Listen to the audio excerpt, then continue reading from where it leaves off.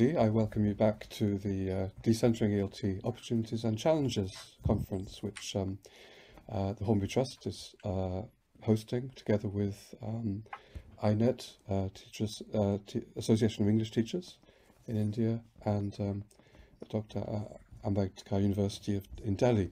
And um, Amol, Amol, would you like to take over? Yeah, sure. Thank you. And uh, I join Richard in welcoming everyone back to the conference. We had a very fascinating first day yesterday when uh, various teacher associations and uh, their representatives from different parts of the world presented their case studies, uh, illustrating certain practices in which decentering element was quite visible. Today, we are going to start with a panel discussion on uh, understandings around decentering and I'm happy to welcome Paula Rebolledo, uh, uh, who will be moderating and leading this panel discussion. So welcome, Paula, and over to you. Thank you. Um, well, thank you, everybody. Welcome on day two. Um, I'm very sorry that um, I wasn't able to join you yesterday. I just, um, I had problems, um, international problems. I was flying, so I'm sorry that I, I could I just missed the the discussion, but I was able to listen to the discussion later. Um, um, what we are planning to do today is to have a discussion about um, um, um our panelists' own understandings of decentering ELT. Um, so this is going to be a lively discussion. It's not going to be structure in a way of question answer question answer is going to allow just the panelists to uh, openly express their views and perceptions about what decentering ELT means uh, to them. Um, and then after that, we are going to allow for more um, open discussion from them again, for them to continue um, expressing their views on the topic based on what other uh, fellow panelists uh, mentioned.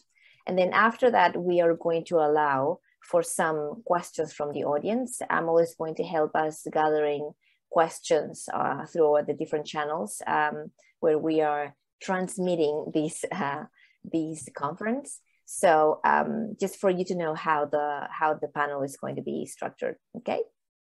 So once again, welcome everybody for joining us. Welcome our panelists and thank you very much for uh, accepting our invitation to participate. Um, so um, from our group of panelists, um, I'm not going to read all their bio data because their their their uh, their their um, records are so interesting that it will take me a long time to mention all their accolades. So I'm just going to briefly mention uh, their name, their country, and what they're currently doing at the moment. If you want to know a little bit more about them, their full bio data is in our program. So first we have Eric with us. Eric is from Cameroon. He is a lecturer at the Higher Teacher Training College in Yaoundé in Cameroon. So thank you very much, Eric, for joining us and for accepting our invitation. Thank you very much, Paula. I'm happy to be here and glad to see um, Prem, Grazzia, Amol, Richard, and yourself. Um, I look forward to an exciting discussion this afternoon. Thank you, Eric. And then it's also with us representing Latin America. We have Grazzia Mendoza from Honduras. Um, and she is an education specialist for the US government and USAID Honduras supporting public education and working in partnership with the Ministry of Education in Honduras. Thank you very much, Grazzia, for joining us. So happy to be here today and thank you for the invitation. Thank you, Grazzia. And we also have here with us Shreesh. He's from India. He is, um, when I was reading your, your bio data, I was like, wow, that's very impressive. He's an examiner, examiner trainer, monitor, trainer of trainers. But he, uh, when we had a conversation uh, a couple of weeks ago, he said, but I'm mainly a teacher. And right now my, my role is I am a teacher at a school in India. So thank you very much, Rich. It's a pleasure to have you here with us. Great. Thanks for the chance you gave me. May God bless you all. Thank you. And then last but not least, we have Prem. Prem is a good friend of ours. Uh, Prem is from Nepal. He works at the Chinese University of Hong Kong as an assistant professor of applied linguistics. Thank you very much, Prem, for being with us today. Yeah, thank you, Paula, and thank you, everyone. Okay, so we are going to start, and uh, what we are going to do to begin, um, I haven't assigned anybody like a time. Oh, Hasna, Hasna is here. Uh, I'm yeah. so happy to see you, Hasna. Hasna has been having problems in uh, connecting. Um, so Hasna um, we, is with us today. She's from uh, Palestine, and she uh, works for the Palestinian Ministry of Education as an English teacher. And thank you very much, Hasna, for being with us today. It's a pleasure to have you. Thank you. Thank you. Thank you for having me. And so, um, having almost a full uh, board of panelists, we are going to start our discussion. I'm going to just pose a question and I'm going to give each of them room to um, talk about uh, their own understanding. So, the question that they're going to try to answer, even though it's a very open general question, is what are, what, what are your understandings of decentering ELT? What do you understand of the concept? What are your perceptions of it? Um, so with that question in mind, I'm just going to give the floor um, first to Grazzia, since you were the first time who arrived. Let me uh, let me start with you, uh, since you've been here for the longest period of time. I hope you are okay with that. Grazzia, is that okay? And so let's start with you, Grazzia, and then we will continue with the rest. Thank you. Thank you, Paula. And thank you, Richard Amol, for the opportunity to be here and share about our context, and especially to share our perspectives on decentering ELT. And thank you to the whole organizing team for having us today. So today I want to share the perspective of a region and my context in particularly regarding decentering ELT and what this looks like and how this view can contribute to the the research that has been conducted. And I want to bring two perspectives into this discussion that I think and consider are important. And one has to do with access. And when I talk about access, I'm not only considering materials or resources or training or information that is contextually adapted, but I'm talking about the access that teachers can have to improving their own proficiency, to access comprehensive ongoing professional development. And the reason I'm saying this is that in our context, the context where we work, we have a great divide in how language professionals access quality professional development and training. For example, we have a great divide between public school teachers and private school teachers in the way that they are accessing materials or even grasping the potential of adapting these materials to their own context and needs. The access in the public school system for our country and for teachers to have ongoing professional development is limited. They don't have opportunities to enhance their own proficiency skills. And most of the times, public, public school teachers in our context, and this is the case for Central America and Latin America as well, are sent to the English classroom without having enough proficiency, without being prepared for that context, and they're not provided the training either. So when we are thinking about how do we localize uh, materials, resources, and training, we need to think about also the way that they are accessing possibilities of certification or enhancing their own qualifications. And we have these public schools teachers that annually they have to provide proof that they are being certified or that they are being uh, accessing professional development, but they're not getting the access. And then we have the private school teachers who have access to comprehensive professional development. They have access to a lot of resources. They have access to uh, improving their own linguistic proficiency. They have access to communities of practice. And just recently, as I was reading and preparing for this session, I was reading about a world ranking for uh, EF, EF English Proficiency Index. And they were stating that Honduras is in the top 10 countries where the best English is spoken uh, uh, in Latin America, along with Argentina and some countries in South America. And I'm pretty sure that in evaluating the levels of English, the adults that were evaluated came from private bilingual schools. And that was the source of their information. So However, and, and, and if you think about this, it's not providing the real context of what's happening in the country or in the region because only a small proportion of learners of English go to bilingual schools. uh, we have 23,000 public schools. We only have around 1,000 private bilingual or monolingual schools where there's access to English. So the ranking does not describe the reality of what is happening, but it emphasizes, this report emphasizes one thing that I think is relevant to this conversation, and it's the fact that learning English enables uh, professionals to have access to a variety of opportunities and that it levels the playing field. And then my question is, how can the playing field be leveled if everyone doesn't have access? And then thinking about the access that teachers have to all the needed professional development, resources, then how does this impact the learners? And that's the second perspective that I want to bring into the discussion. Because if teachers don't have the access, if teachers don't have the resources, that's going to create a huge impact in the language classroom. And we're going to continue to have that gap between learners who attend public schools and those who attend private schools. And generation after generation, this will continue to result into lack of opportunities. It means that we could very well localize, bring the national identity to materials, resources, and practice. We can uh, empower the local expertise in a variety of ways. But if our teachers don't have the opportunities, 100%, our language teachers don't have all of them the opportunity to access these materials, then we are going to continue the preventing the equity and inclusion that we are searching in this process. So that's my the first thoughts that come to mind.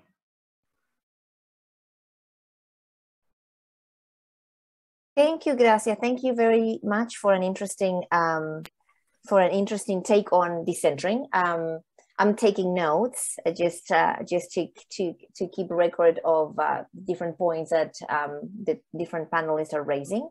So um, thank you for that. We are going to continue now with our second panelist. Prem uh, um, has joined us. He's a good friend of the Hornby family. So uh, Prem, I would like to give you some um, time also to provide your perspective on decentering ELT. Thank you, Prem. Um, thank you, Paula, and thank you, everyone. I, I think it's very uh, difficult question to to respond actually, and uh, my experience ba- is basically based on uh, my work as teacher, teacher educator, and researcher in in one of the uh, periphery contexts of ELT. So that's that's Nepal. So I think uh, when we when you talk about decentering, I think it means many things for many people, and uh, just we don't really have to agree on our ideas, and if we really kind of think of having consensus of what it is, then again, it's not decentering actually. Maybe we are more focused on centering and looking into solutions. So that's why decentering in ELT or decentering of ELT uh, for me is basically questioning what uh, we have been actually doing for long in different parts of the world, right? So the questioning basically begins with what is the center of ELT or what is the center in ELT? Where is the center or is the center actually fixed? So for me, it is not just like a fixed geographical location. Um, rather, it is very dynamic and socio culturally constructed space of people where we are actually connected in and by ELT, for example. So including uh, English language teachers in schools, university professors or researchers or parents, right? So there are multiple centers for me. So, um, and th these centers are actually, uh, these centers exist in peripheries as well. For example, universities as a center of English language teaching, a language schools as a center of English language teaching, or even teacher associations could be at the center of language uh, AELT, for example, as we are discussing now. So decentering in this sense uh, is a concept, or it's kind of maybe an overarching concept that helps us understand a very kind of dialectic relationship between the center and the periphery. And uh, basically, for me, it really engages us in negotiating and repositioning our own values and skills uh, in relation to the context where uh, where we work. So um, basically um, it's it's like questioning, and um, it, it, for me, so the basic questioning lies in uh, in in ELT. So what basically lies at the center of decentering ELT is um, I, I, think so. What actually ELT is and how it should be implemented is it's a kind of main question for me. So, for example, some useful questions uh, in addition to what I have raised before could be, um, you know, is ELT about learning English that is used in the centers? I'm talking about the language, English language used in the center. For example, uh, as we have read in uh, practice like USA, UK, Canada, New Zealand, Australia, or should be more than that, right? Or should our approaches be monolingual or multilingual, right? These questions are not really value neutral. So they are very much like value-based and ideological. And these questions are not actually new indeed. And there are different scholars like uh, Kachru, uh, we are familiar with his contribution in ELT, Kumara, Kumaravadivelu, Suresh Canagarajah, particularly in South, uh, sorry, uh, this uh, Indian subcontinent, have long been questioning this, this kind of like center-based approaches in ELT and the ideas of world Englishes, for example, post-method pedagogies, and the integration of local knowledges and cultures uh, provide a very different, I, I think very powerful decentering perspectives in English language teaching. So what I'm basically uh, asking here or raising, I think rather than responding to your question, Paula, what I'm basically asking is, um, you know, what actually lies at the center of ELT. So that that should be basically question, and then uh, maybe we need uh, more kind of diversification of our understanding about ELT by basically looking into, not just recognizing, but looking into the relevance of the knowledges and practices that are actually been, uh, have been part of kind of English language teaching for long, as I, as I gave examples, uh, for example, uh, local knowledges or culture or the use of different varieties of Englishes in different parts of the world even the locally, uh, locally produced materials and all those things. So um, I think um, decentering for, um, you know, the decentering project, first, I think should begin, again, we, we, we don't need to agree on this, but uh, we need to ask ourselves, you know, or we need to really raise the question of the relevance of monolingual ELT that actually dominates our our perspectives about ELT. For example, ELT material production, ELT teaching methods, ELT uh, uh, research, and all, all those things, even teacher development, right? So um, I think we need to look into the recent development in the multilingual turn in TESOLs or ELT that offers very alternative, uh, very powerful and relevant alternative decentering insights in, in ELT. So I think I will stop uh, Paula here, and then if you have any questions, so maybe we'll come back. Thank you. Thank you, Prem. Sorry, let me pause my timer. Everybody has been very good and on time. uh, spot on. Thank you. Thank you, Prem, very much. That was very interesting. I was um, uh, there are definitely um, a lot that we could discuss from both perspectives because they are different, and that is why the discussion could be so rich. They're very different perspectives, and um, that is probably what we were looking for in this discussion. So I'm going to continue now with Eric. So I'm going to leave uh, the room for you to um, to uh, share your views, uh, your understandings of uh, decentering ELT. Okay, thank you very much, Paula.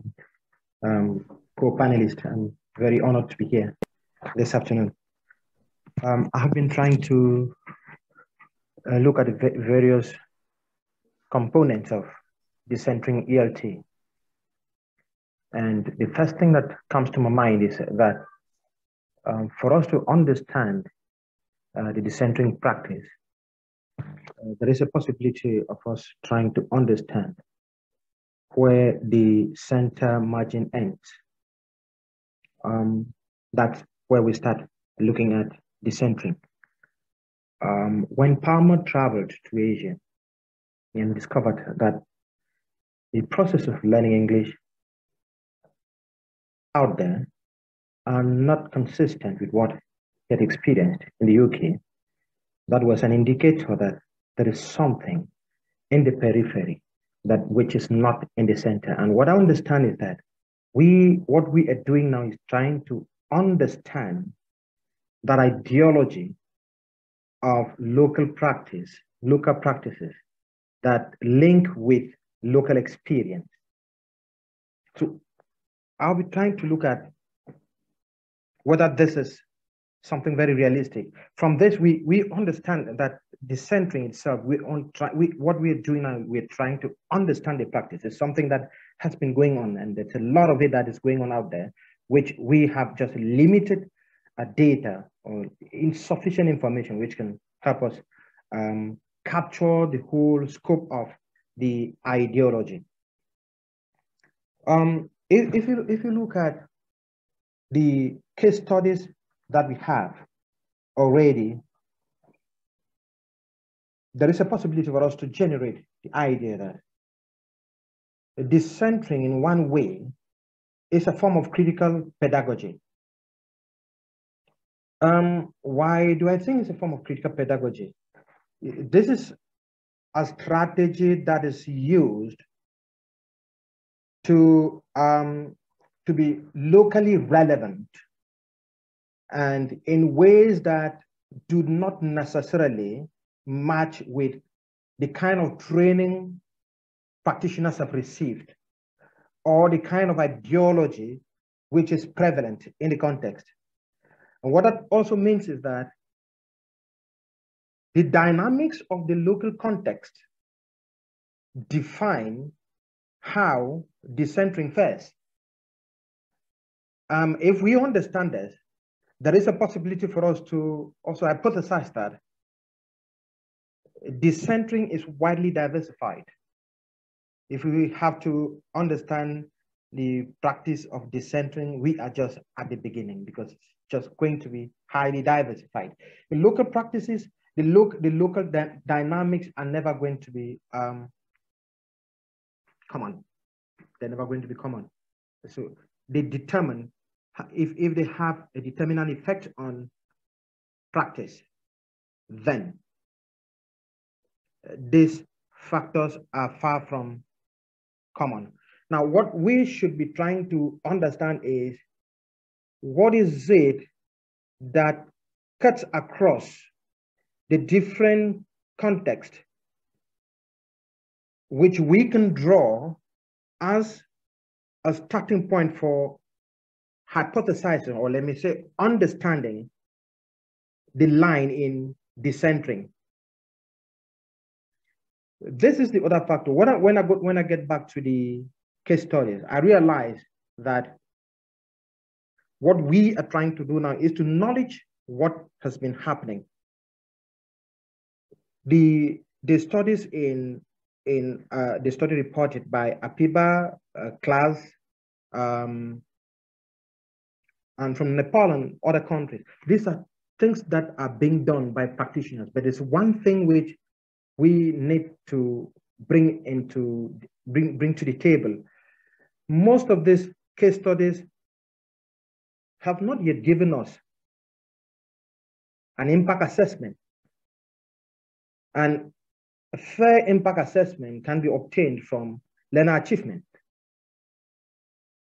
So we must also I think it, it would make sense for us to try to get into what kind of achievement is made from these centering practices to be able to uh, settle on what potentially holds as uh, a main ideology in decentering. What we understand in this in the periphery is that look, training, teacher training practically follows orientation from the center. Why? Because most of the trainers, it's either they were trained by um, Eurocentric or the center, from a center perspective, and they're transmitting this to teachers. But what is happening, what the teachers are doing they are not trying to counteract what they were trained to do, but at the same time, they are not implementing what they were trained to do exclusively, but they're trying to find their own way of doing it in a, in, in a way that can lead to success. So there is a kind of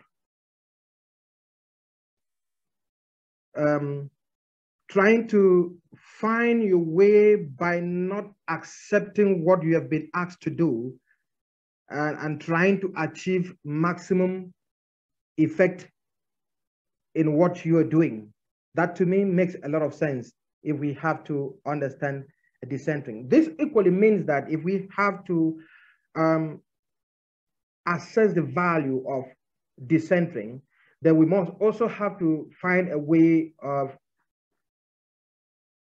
checking how these practices reorientate training, the kind of training which teachers get from training colleges. That, in a way, will be expanding the scope of decentering and trying to see how um, the trainers themselves can generate um, ideologies and practices that run from training to practice and which have an impact on what learners are capable of doing. Now, that is, to me, um, it seems to me as though we, we would need to find a way to document the different decentering practices which are hidden. Um, I remember um, in one of our CAMELTA conferences, um, one of our guest speakers said, teachers have written tons of books on the chalkboard and have erased them at the end of the day and nobody knows this. This is uh, Eric Dwyer from uh, Florida uh, University. And I have this imp impression that if we don't find a way of documenting these practices, we are just starting decentering because there is a, a, whole lot of it that we need to put together and then look at, at the, study the data and try to knowledge it and find a way that we can be able to define what decentering in means. Lastly, Paula, um, I was I, I start when I when I got this concept, uh, decentering in a meeting in Liverpool, I, I started thinking that this could be a methodology but I, when I look at the case studies and then I, I, work with teachers in Cameroon and I find out, I find, I see how teachers are generating um, knowledge to overcome challenges and knowledge, not knowledge because they've been taught to do it. I realized that it's far from being a methodology. We can't qualify it as a methodology. I started thinking whether it could be an approach. But when you look at the limits of an approach, when you look at the, the definition of approach, an ELT approach, you realize that decentering extends the ideological orientation of ELT approach or ELT uh, uh, teaching approaches because it doesn't actually fit in a particular space. And it doesn't actually tell the teacher that when you're going to class, go and decenter. It doesn't. Now the teacher gets to the classroom and finds himself in a situation in which he thinks that, well, the best way to solve this problem is to make it work. And if it works, then I go home with something that in itself is decentering. So I want to stop here for the moment and maybe come back if you um, create the space for me again. Thank you so much. Thank you. Thank you, Eric, for that. Um, we have lost um, Hasna. I hope she can join us again soon, or she's there, but, but I cannot see her fully on screen now. Um, I don't know if anybody in the team could help me make her a panelist. Are you as a panelist, uh, Hasna? Yes, you are there. Thank you very much.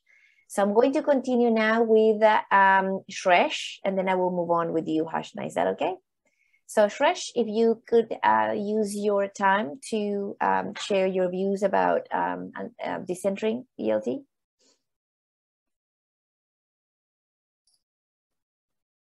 You are muted still. There you go. Okay, am I audible now, please? Yes, you are. Yeah. Thank you, Paula. And uh, thanks to colleagues and my greetings. This is a very pleasant, cold, pleasantly cold evening in North Bihar near Indo-Nepal border. And uh, allow me to go a little bit, bit personal. You know, today I taught at the school where I teach, and I had 38 children, about 25 girls, 12 or 13 boys, all between 8 and 12 year old. Close to 80% of them, and you know, by now they are expected to be fluent readers of books done by government textbook committees, but close to 80% of them cannot read a word, cannot write their own or their parents' names using Roman, using letters of the Roman alphabet. And we must acknowledge that in India today, let alone the world, in India today, we have hardly a future without adequate proficiency in English. English is no longer a British language in India. It's another Indian language.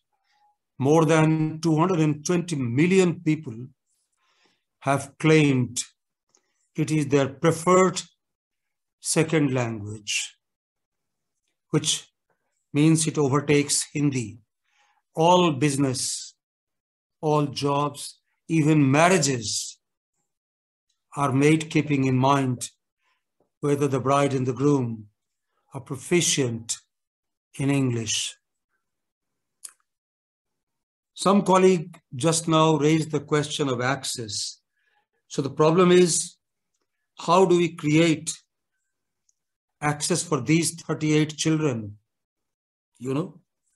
And this is where I like to come and say what decentering means to us in this village in one of the most backward areas of the world.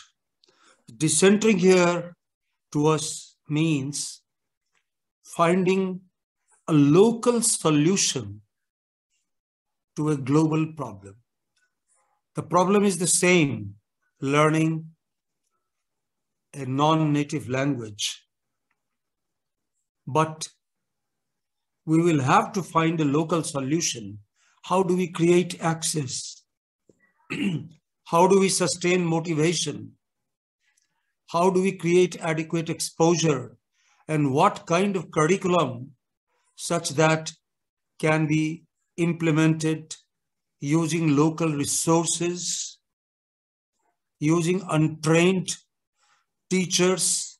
Just now, my good colleague Eric talked about teacher training. What kind of teacher education? You know, unfortunately, we don't create trained teachers. We create trained workers. They are good only at delivering a given syllabus. But you know, we will have to be, we'll have to innovate. We'll have to be imaginative enough to find local solutions to global problems. We'll have to see what our untrained teachers, how little of training can be adequate for them. India, unfortunately, still follows the British days practice of producing a trained graduate teacher in two years. That's a luxury India can no longer afford. It has over 330 million school students in government schools alone waiting to learn English and teacher trained teacher output is under 30,000. Just imagine the kind of staggering problem that confronts India. The only way we can do it is by decentering, finding our own local solution. Let's meet again and again. All of us may not know, you know, may not be equally fluent or proficient in the English language. But if we know about 500 words, if there is a lady here in the village, if there is a retired worker, a bank clerk in the village who knows about 2000 words in English, then we can invite that teacher and ask that teacher to share those words, share that knowledge. Luckily, Paula, we in India have a rich tradition of finding local solutions. You must remember when the British arrived here in the 17th century, nobody knew English. When they got power in the mid 18th century, nobody knew English. But by the end of, end of the 18th century, they had started you know, creating glossaries, word lists.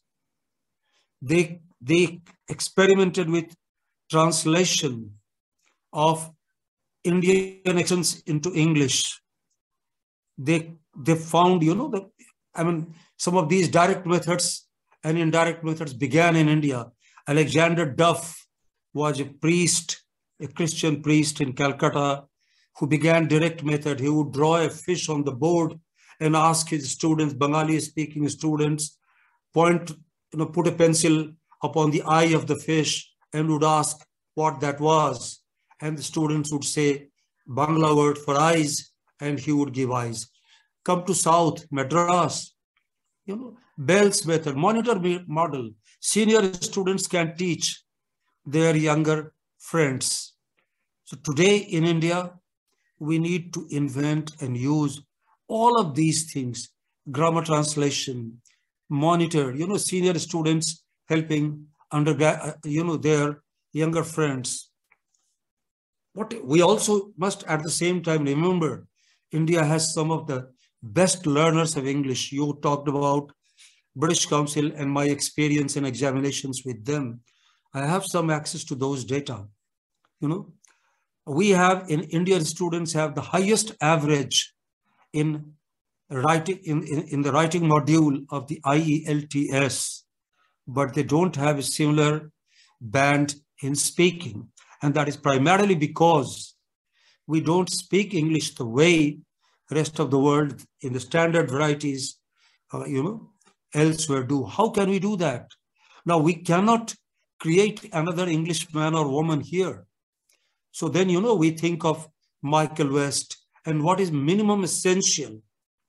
What is it we must teach? Michael West was an English teacher in the Bengal of early 20th century. And incidentally, he got the first DPhil in ELT at Oxford. So, you know, one of those things, what is the basic reading list? What is the basic word list? What is simplified reader? You know, what is it that must be learned so that we stay local, but we are globally understood? Like, you know, I can understand Eric and Paula, you and Prem and other friends, and can expect to be understood. So then when we asked ourselves these questions, we found that there wasn't much and it was doable. If we taught them how to stress a word, maybe speak a little bit slowly, keep the order of words all right, then, you know, we have done it. Everybody can then speak and be understood. Everybody can acquire fluency and confidence. All we need by way of external support is a pat on the back saying, okay, you are doing all right. And as, as the British say, the proof of pudding is in eating. You know, we have had considerable amount of success following these local, you know, traditions of global problems. So to wind up, let me come back. I see decentering as finding your own sustainable locally viable solutions. Why emphasize learning of sentences? You know, I mean, overemphasize. Why must we be correct only grammatically and not morphologically, not lexically? Let's first create a vocabulary of 1500 words, which is not easy. Just bisyllabic words, frequently occurring. 50% of them can be nouns, 30% can be verbs, remaining 20% can include adverbs, adjectives, articles, pronouns, etc., etc. Let there be a predominance of bisyllabic and monosyllabic words. Trisyllabic and polysyllabic words can follow. And in within those 1500 words, we can give enough confidence. And there are websites, there are dictionaries which tell you which are those 3000 words that are used most frequently and must be learned first. Enough dictionaries. All we need to do is to have the courage to implement it and to tell the governments, sorry, you are no longer realistic. Please allow me to go my way. But governments, Paula, please believe me, worldwide, maybe your country is different. Governments are huge hurdles to anything good, including learning. Please pardon me, at my age, I think I, I, I perhaps have become a cynic, but I see this alone as the way. Thank you. If you have any questions, I will try to answer, but I'm not too sure if I can answer all questions. Thank you, Thank Shreya. you very much. Thank you, Shreya. Thank you for that interesting, um, for sharing your interesting views, perspectives on this. Um, we're going to uh, possibly come back to some of the, the issues being raised here. Um, um, I don't know if Amol, you're able to pick up uh, some of the questions, some of the comments that are uh, coming um, from the chat. We can talk about that uh, late after we finish with our last but not least, uh, oh, um, Hasna is here with us. So um, Yeah. Hasna, I'm going to give you some minutes for you to share your understandings of decentering ELT. Yeah. So hi everybody. Uh, at the beginning, decentering ELT is a concept that is new here in Gaza, specifically in Gaza spec- specifically, or in Palestine in general. And at the beginning, I have a, a very difficult point of view to understand what's the meaning of the definition and what do we need by that, because we usually faced by two things. The first thing that we usually ask, especially in Gaza, so why do we learn English as long as we will never leave Gaza because of the political situation? So students are not able to uh, speak or uh, they are not even interested in, in learning English itself because we will not be able to leave Gaza because of the border, because of the blockade, but because of the siege.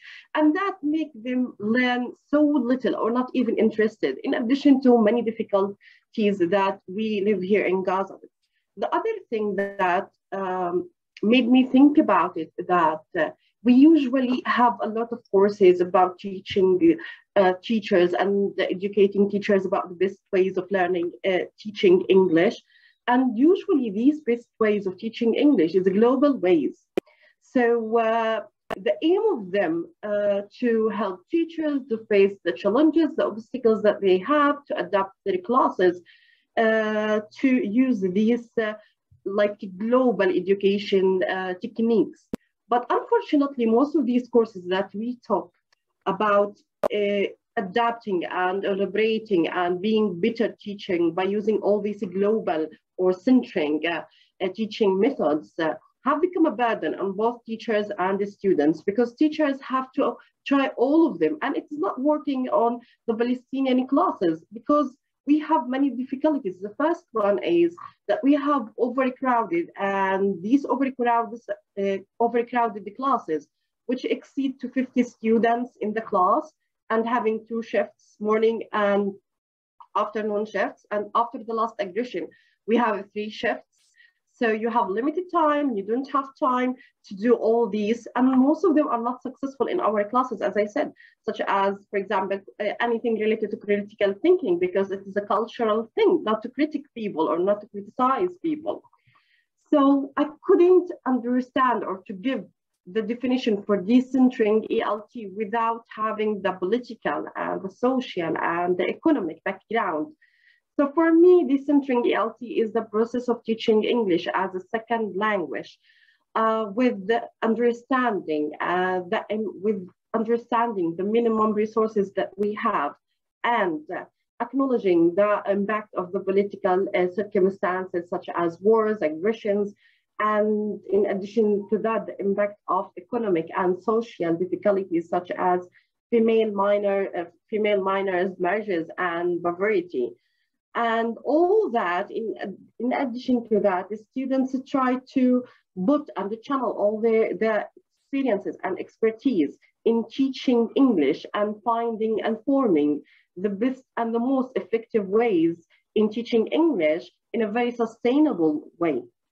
And I found that we have something, unfortunately, is that sometimes we shame teachers who are not be, uh, who are not able to use these global techniques.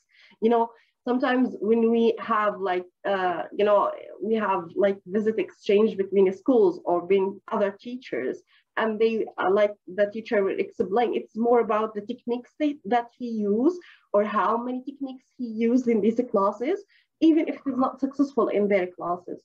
So for me, decentering ELT has different maybe concept than others, but it is about making more students able to think that English is not hard as they think. It's about that it is not necessary you must learn English because you need to leave your country or you can travel your country. Um, also for me, uh, decentering ELT is advanced and it needs more more, uh, how can I say it, more thinking and more explaining to understand from, because it is different from one country to another country. I understand most of what they talked about, about having like, for example, differences between teachers from public schools and teachers from private schools. Here in Gaza, we don't have that because most of English teachers are like having a positive attitude towards it, towards uh, teaching English and they have like all all um, all the resources that they have but also it is limited in a one way or another. It is related to internet. It is related to uh, how people see it. And as i said as long as you use more global techniques you are a better teacher. You are not able to use these techniques. You should work more on yourself and you have to work more harder. So that's my point of view Thank you, Hasna. Thank you very much for that. Um, that was a very interesting um, take on what the centering means to you. Um, we have had a very interesting set of uh, points being raised here by all the members of the panel. So I now would like to just give you a few of extra minutes. Um, we don't have that much time, unfortunately, but just about five minutes to um, open the floor to any of you. You can let me know if you, Prem, Eric, Grazzia, Hasna, or Shreesh would like to add something based on the on the different views shared by fellow panelists. So if anything that they say just triggers some thought or may make you want make you express something else, just let me know. Prem, go ahead. Um, yeah, okay, thank you. I just wanted to uh, highlight uh, what I have actually missed uh, in in my um, yeah in my talk before. So uh, this this whole notion of teacher training actually is um, in many ways uh, for me is dehumanizing, particularly in the context of periphery. So we often treat uh, teachers as trainable subjects, like you know uh, the the animals who are ready to be kind of trained, right? So and and what happens is basically we expect that teachers coming to us basically us basically means you know who who are kind of like in in higher education universities or plus maybe uh kind of like uh, coming from different contexts right? So then these teachers are trained but we don't basically understand where they come from and what is what are their values, what are their sociocultural realities and contexts.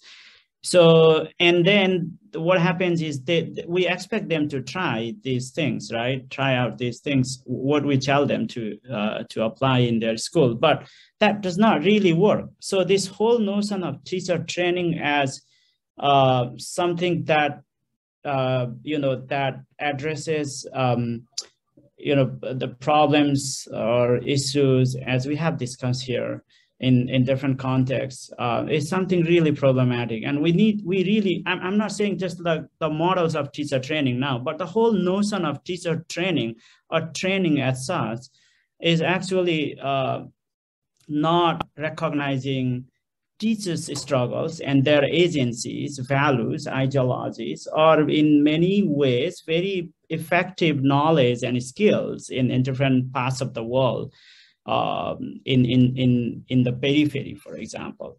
So um, I think uh, one uh, one key areas, uh, one of the key areas of decentering ELTs would be, I think maybe we need to really question, you know, what we have been doing in in in the broader rubrics of teacher training or teacher training schools or teacher training uh, organizations and how uh, actually we are positioning teachers and how do uh, what do we expect from them so basically, I think that is what I wanted to uh, I wanted to raise uh, questions here. So how do we basically uh, recognize teachers' agencies, knowledge, and skills they they actually have built uh, by teaching for long, uh, as Suresh has just highlighted in different difficult uh, situations. So, but at the same time, it's not just recognition of what these teachers are doing in local context, context of difficult circumstances, but also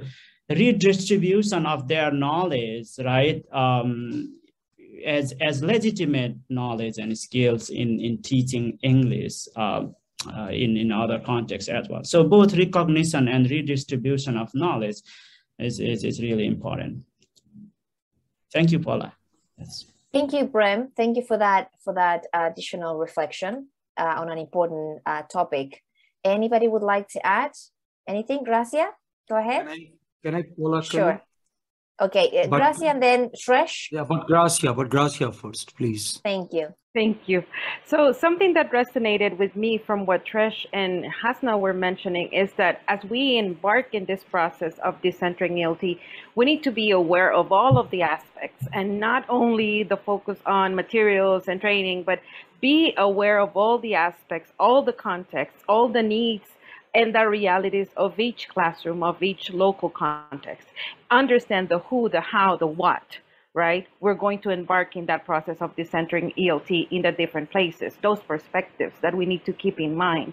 And, and thinking about what Shreesh was saying regarding access or exposure, right? Those are things that, are, that come into play into this process. Also, in reading the comments in the chat, I can see how important it becomes to understand the nuances of each country and address decentering ELT based on those particular characteristics and situations, because we cannot come again and, and, and follow the same trend of having a standardized approach to decentering ELT. So I think that's why this conversation is really important because we are looking at all the perspectives. We're not coming with one definition that really drives yeah. what we're doing, but we're thinking about how can we use all those per perspectives to bring that local perspective into the game. Thank you, Grazzia. Thank you very much for that. Uh, Shreesh, would you like to continue? Right. I, I, you know, pardon me, I don't quite agree with Prem. You know, when we say, you know, I mean, it, it, it can be a very distorted view of training to think that imparting training is creating, is, is, is something subhuman or dehumanizing. I don't think so, you know. I mean, training, so long as we recognize that teaching is not always a, a biologically natural activity of human beings. There is some kind of skill, there is some kind of process and product involved. Then it is always useful that we learn from the experience of our ancestors. The problem with teacher training is not that there is quote unquote something called training. Training also has a larger connotation. You know, how do we learn riding a bicycle unless somebody runs behind you, unless somebody helps you mount the saddle? Okay. So in that sense, you know, we have to create, we have to train in a larger sense our teachers to think, to create their own resources out of nothing you know, to create their own materials out of local knowledge, using a global language, You know, you cannot have both as strangers. You know, language and content, they both need not be strange. You can have the same content in the new language. You can have the new content in the same language. But if we train our teachers adequately, or if we educate them, sensitize them, use the word you are most comfortable with, if we create a fraternity of colleagues who can innovate, who understand the local problems, whose competence, whose, whose minimum competence in the language they are going to teach at least is, you know, is, is, is of a certain level. And if that is not, then we can help them as well, or we can train them to train themselves. In that sense, you know, training definitely is desirable and we must strive to create a culture where people train themselves to innovate according to situation. Then there are local specific problems. As I told you, the problem of global intelligibility of our local pronunciations. Now, should we change everything? The teacher, therefore, you know, a sensitive teacher, therefore, would know how much must change so that a colleague in Gaza or a colleague in Nepal or a colleague in Latin America must understand somebody from a village in India. Now that sensitivity is required there. And that by that I mean the target is global. We can hmm. no longer afford to be, no matter which country, where we come from, we are no longer isolated pockets. It's a matter of time when leveling, you know, country levels like now would become just cultural levels. You know, the technology has almost wiped out local boundaries. So the hmm. goal is global. We all have to understand one another. And it so happens by accident of history that just now this language is English. It used to be French. It used to be before that Persian and Turkish. Turkish was the maritime language even in Asia. No matter Portuguese or British, they had to learn Turkish to sail on Indian Ocean, Arabian Sea, and also to a large extent on other oceans. Today it happens to be English. Tomorrow it will be something else, maybe Chinese, maybe Hindi, maybe Spanish. But the problem would remain. And for that, we must find local solution and we must prepare, you know, perhaps training is not a good word. Maybe we also train dogs to, you know, pick up our tennis balls and bring them back to us. So let's use another word. Let's say educate we may need to educate our teachers such that they adequately understand the local problem, they are capable of finding and delivering solutions. That, in my opinion, will be the right understanding of decentry. Thank you, Shreesh. Thank you. Sorry, I would like to leave a few minutes. Um, I know that we are a bit over time, um, Debbie uh, and Amol. Um, but I would like to give five minutes at least for Eric and Hasna to um, be able to express themselves and then um, just use our last 10 minutes or so to look at um, either questions or comments and then some final remarks. Okay, if that's okay with you. So uh, would you like to um, um, use some of that time, Eric? Yeah, sure. I can just cue up from what Shreesh is saying.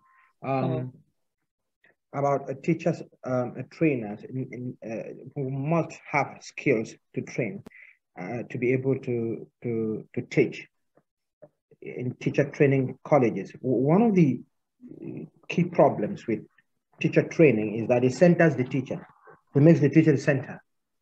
That is a key problem. So it is it is a way of finding um, this we have to find a way of um, getting a process of training that decenters the teacher instead of centering him uh, in the classroom. And what happens is that when the teachers get to the classroom, And the kind of training, generally, what is common is a craft model in many parts of the periphery, the craft model of training.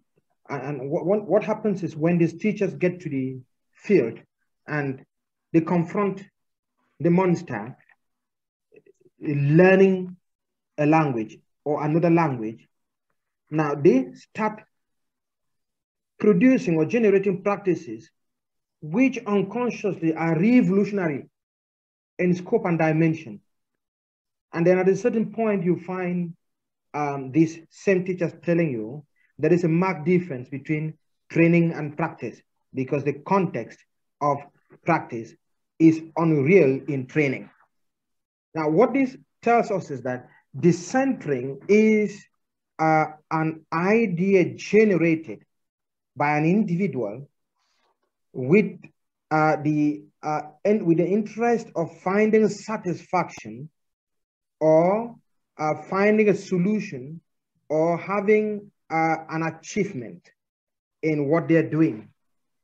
Now, in this process, um, I read, I read, I read uh, Harry's comment that we have not talked about teacher research, and I think it's very important we we we, we talk about this. Uh, teacher research to me is a process of decentering. It's not. It, it, it, it, we, we can claim that it is itself, well, from my view, a, a, a decentering process, uh, a, an aspect of decentering, rather the process through which teachers emancipate themselves from the kind of uh, center ideologies which training has uh, implanted in them. Uh, uh now, this tells us that decentering at a certain point, if we if we look at it keenly, is kind of negative feedback to training. Unless we are claiming that the teacher training schools are developing a bank of processes and methodologies based on classroom feedback. And if this is not yet the point, then I think that teacher training is a center and finding local solutions to local problems, probably through teacher research, can be the dissenter. Thank Paula, you. Thank you. Uh, thank you very much for that. Well, Eric, I agree with you uh, on that point. Uh, so Hasna, could we just go with you on your final words? Yeah, um, I would like to thank you for this opportunity. The first time we talked about decentering, I went to my school and I sat with my uh, English teachers colleagues and they started like, okay, tell me what do you think about decentering? And we started collecting information from each other. The next day, they came to me with having different, totally different ideas about decentering and we started discussing it and we have been like since two weeks ago until now we have been decentering. Every day we have been discussing decentering every day from every point of view which always different from the other one. But the main reason that that this became something interesting is we weren't aware that there is many aspects of teaching English. We weren't aware that it is not always the global way is the right way to teach and we actually use local ways and we use local solutions and we face our challenges in our classes in, in a different way and every teacher has or has, uh, has his own way to deal with the, the obstacles that they face in the classes. But we did not know that this is decentering. We did not know that this is putting your local expertise and your local thoughts about how to deal with these situations. And that's what I like. Then when we have such discussions, our point of views will be wider and wider, and we can reflect to reflect that to our colleagues, our students. And I'm thinking that now I will go and I'll say, like, we have different points of view. We have one, two, three, four, and we have like the whole world is here, and we can collect information from the whole world. So that's what I'm really ha- like. I'm really delighted to have this conversation. Thank you, guys.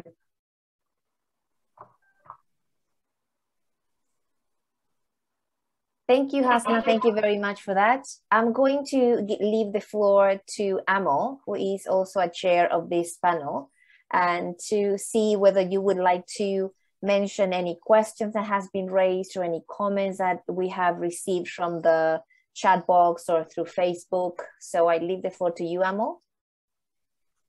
Yep, uh, thank you, Paula. And uh, let me confess right in the beginning that it's literally impossible for me and probably for many of us to keep track of the massive amount of discussion that's going on in the chat box. How I wish we were all in Delhi in one place as originally planned and in the same room. It would have been such a rich and fantastic exchange. And uh, I also apologize in advance that I'm bound to miss quite a few things because it has been such a rich, diverse, and so many parallel strands going on in the discussion. But what I notice as a kind of common trend uh, or common concerns uh, featuring across all kinds of discussions uh, are two things. In that's my personal view. One is a feeling that if we want to deepen our understanding of decentering, we also need to look at notions of the center and have a complex, nuanced understanding of the center. Different people have put forth their views uh, or their own perspectives on the center, including the panelists. For example, how Prem talked about multiple centers and that has echoed in uh, the postings of different people as well. And it's not a very easy way, and there can't be one exhaustive definition that uh, will adequately explain uh, the notion of center in all contexts. But from the Facebook chat, there is an interesting hint which might uh, take us to a more nuanced understanding of center. The, uh, the phrase uh, that discriminatory nature or practices so if we are talking of the center and the decentering practices, if we are talking of questions of access or uh, irrelevance of solutions coming from other places, we are essentially going to the roots of some kind of discrimination happening there. So probably that might be one hint or one clue towards a deeper understanding of the center and decentering. Another word uh, or notion that figured in several posts in, in, the chat is the notion of the local, not necessarily the same word everywhere, but that the notion of the local. And once again, it seems that the general sense is local is something that cannot be defined universally applicable to all contexts everywhere. And uh, I particularly liked the kind of link uh, Professor Shreesh Chaudhary made uh, between the local and the global, and many people picked on that, even on the Facebook, that local and global are kind of integrally connected to each other. And uh, while looking at one, we should not lose sight of the other, which is in a way uh, a productive decentering way of looking at our reality. In terms of questions, there are two or three questions which I could pick up. Uh, and those questions were common to a uh, couple of people, so I'm not taking anybody's name. But one question is about, let me quickly check, I have noted it here. One question is about uh, checking the impact of decentering initiatives or what gains the case studies presented yesterday led to or what kind of things have been achieved uh, out of those things. The question is if we are asking such kind of impact assessment, then isn't it fair to ask in the first place what has been the impact of the current centrist practices? And if there hasn't been any fair impact assessment of whatever we have been following so far, why should we wonder about or puzzle about, worry about the impact of decentering practices? And uh, uh, do you think, Paula, uh, we should ask uh, maybe one of the panelists to respond to this? Or yes, I so um, I think maybe what we should do is um, you pose a question and then one of the panelists, the first one that raises their hand to answer the question, and it needs to be answered rather briefly in like a minute or so so that we allow because there are two more questions that are coming in the chat box so that we allow for at least two or three yeah. questions to be answered. Would that work? Yeah. Yep. Okay, okay so maybe... the question um, eric you want to answer that question? Yeah i want to try. I want to try something. That's okay. Yeah um, we, we aren't going to be talking about trying to understand what is happening as far as decentering is concerned when we don't understand the, the effect of that decentering process. Then we will spend time hypothesizing. I have the, I have the impression that our understanding of decentering right now is to give value to what is happening. And having that impact assessment to me is a way of giving value. Let me take, for example, we agree that there is a lot of decentering happening out there, which we don't know. And in structures of hierarchy, in context of hierarchy, most of these practitioners who get engaged in decentering practices do not really feel in themselves that what they're doing is something that can be um, projected as a good practice. And so because of the ways through which their societies have structured their minds, okay, they think, okay, this thing just worked for me. Okay, great. Now, if we don't find a way of getting the same um, decentering practitioners understand how valuable their practice their practices have been from learner perspective, we would spend a lot of time stealing the show. We would talk, sit in our offices and talk about decentering, and without being able to measure the impact of decentering on the very people who matter in the decentering process. That is my approach to it. Thank you, Eric. Uh, Amol, would you like to um, raise yeah, another uh, question? Thank you so much. And there are a couple of questions uh, regarding the practice of decentering. And uh, one question is, uh, can any of the panelists give some examples of how a local solution can lead to decentering?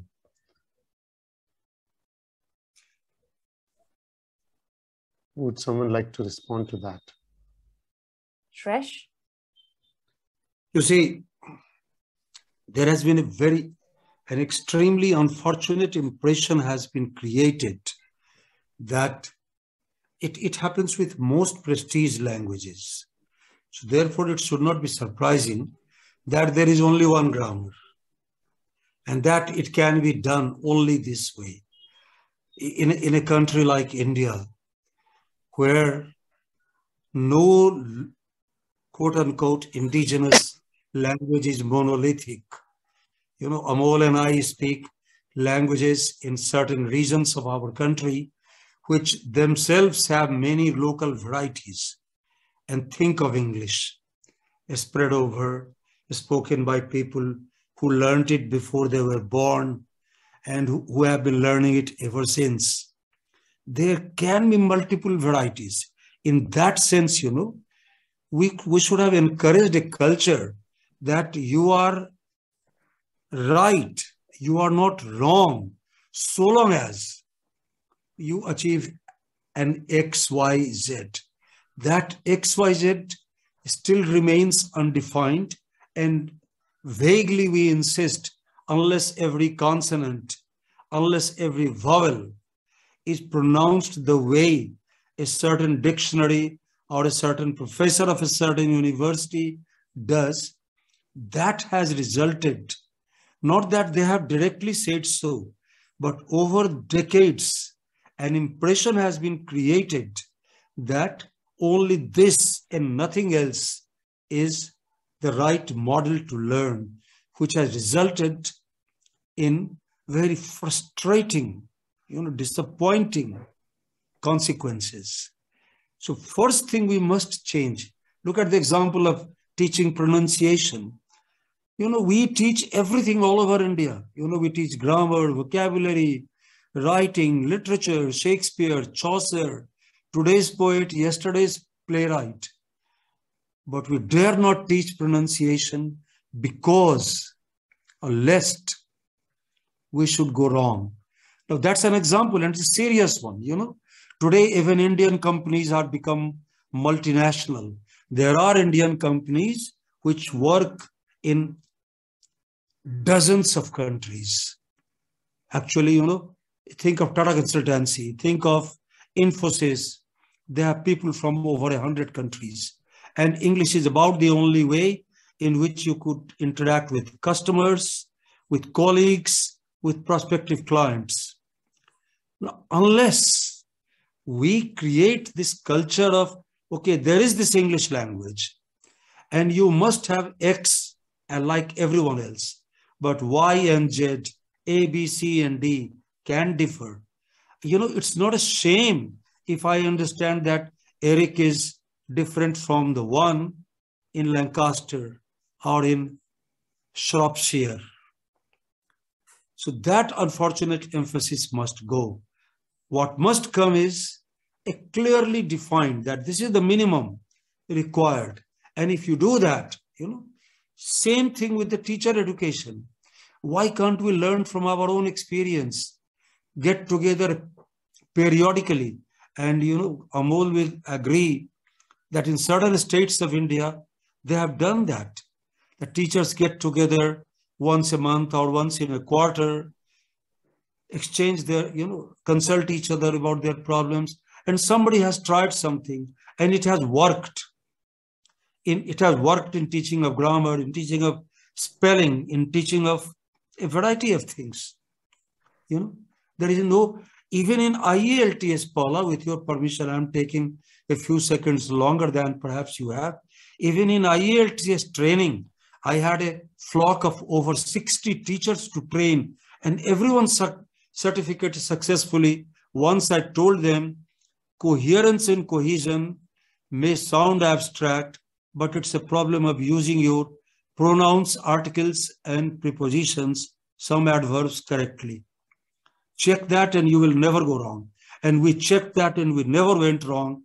60 out of 60 certificated every year. The problem is the confidence that we need in our own innovations. There it is shaky, you know, unless it has the stamp of the British Council, unless the stamp of Amol, unless somebody in authority says this is okay, we hesitate, local governments hesitate, local bosses head of the department hesitates and stifles the initiative of a young colleague. That is where I agree with Prem, you know. That allow teacher, give teacher is not a teacher is not a paid lorry loader. Teacher is a craftsman. He is creating, she is creating careers.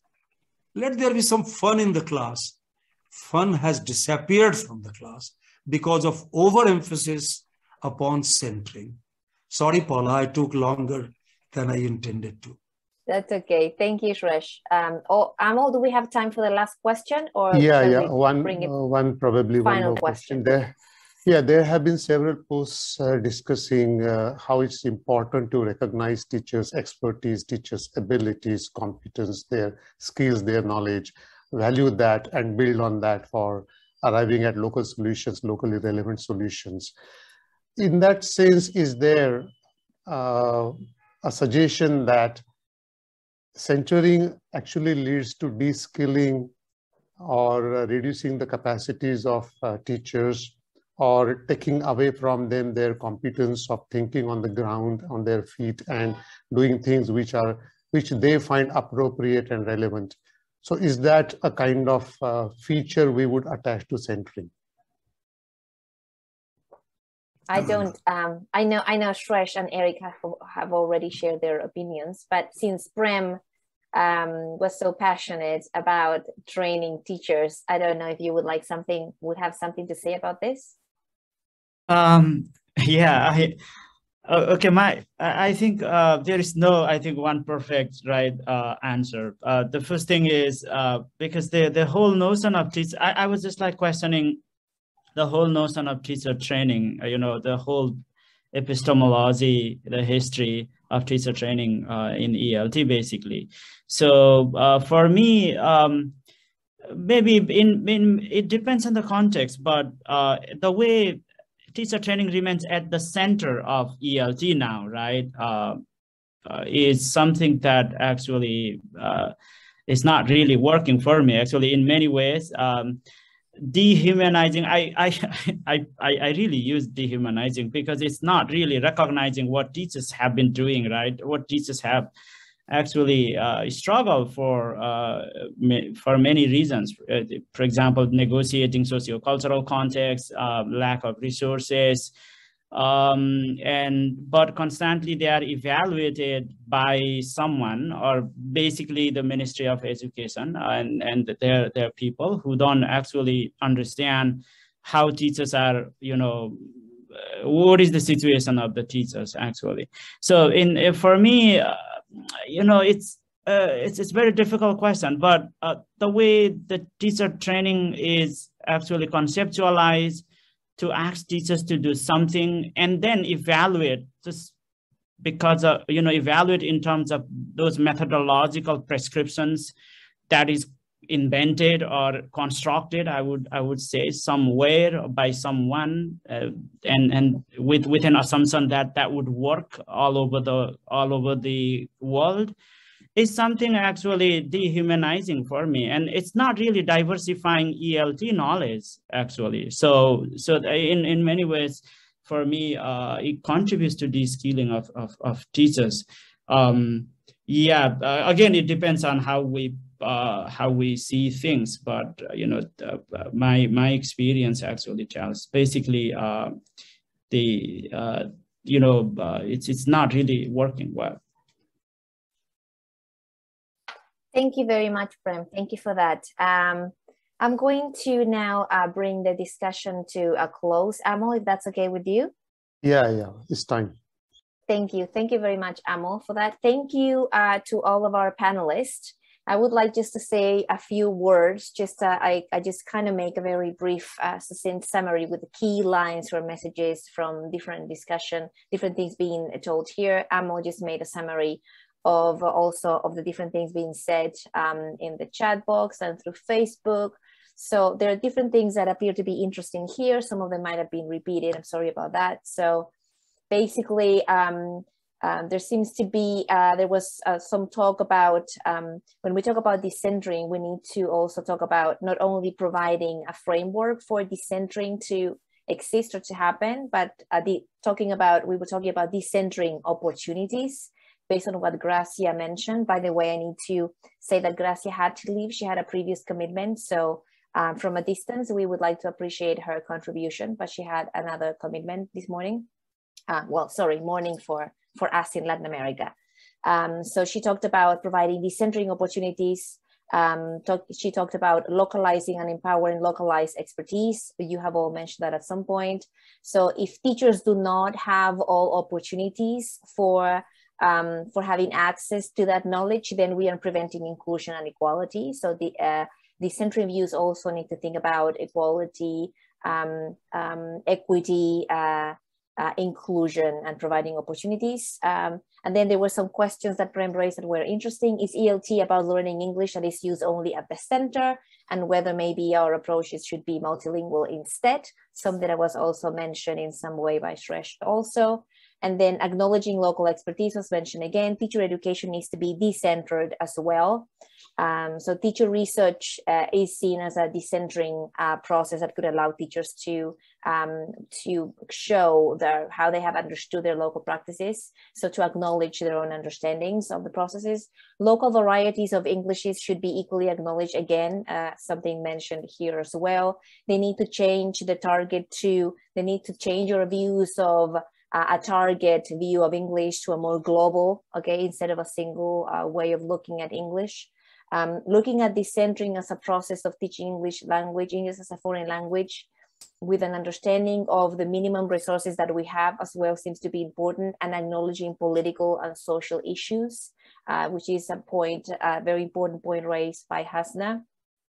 And then also something that mentioned, uh, Shreesh mentioned, and um, and he actually mentioned Amol and it made me aware of things that I have discussed elsewhere with you at some point in different occasions that we have met is the importance of if we are trying to if we see centering EFL as a potential danger of uh, you know disregarding local practices maybe us those of us who are considered to be kind of in a power position in terms of having um, a word or a voice in our respective context. We need to be aware of maybe becoming the center of EFL in our respective contexts and the possible danger uh, of that. So um, we, what we don't want to, what we want to avoid is for then for us to become uh, the center again in our uh, in our in our uh, respective uh, contexts.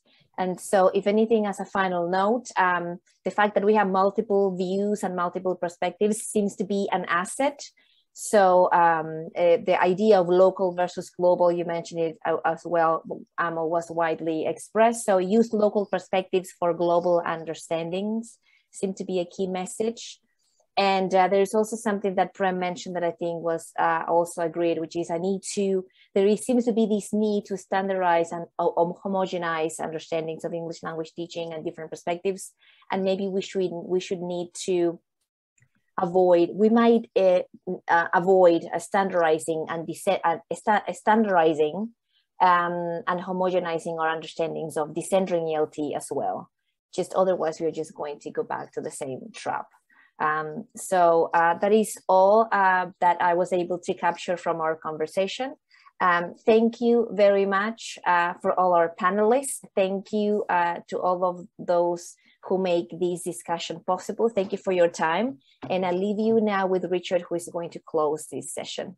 Thank you.